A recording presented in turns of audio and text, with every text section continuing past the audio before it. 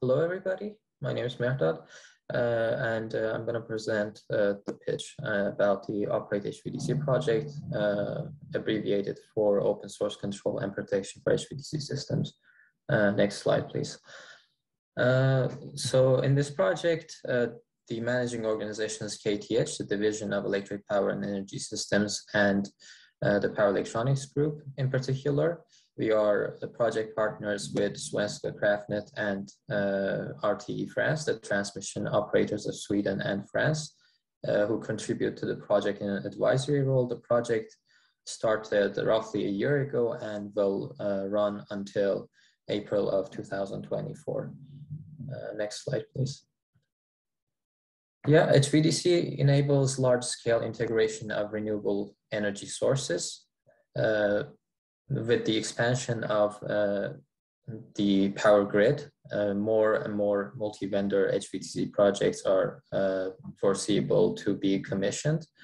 Uh, and also the existing HVDC links may be operated into multi-vendor HVDC uh, systems. Uh, the, that means that the converters in multi-vendors installations would be supplied by multiple vendors instead of a single vendor. Uh, since the circuit design and control uh, system of these converters are different uh, for each manufacturer, the control systems may interact to each other and the system would be prone to instability. Also of importance is uh, the coordination of the protection system uh, due to intellectual property issues. there needs to be a coordination in control and protection systems of multi-vendor systems. Uh, next slide, please.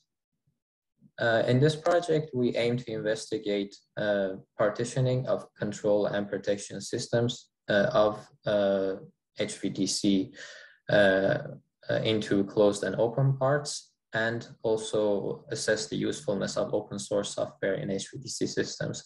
That way, we could protect the intellectual properties of vendors uh, and uh, use the open part of the control and protection system, uh, which is which would be responsible for external equipment behavior, and have the closed part, uh, which includes the intellectual property uh, to handle only the internal processes of the concerned equipment.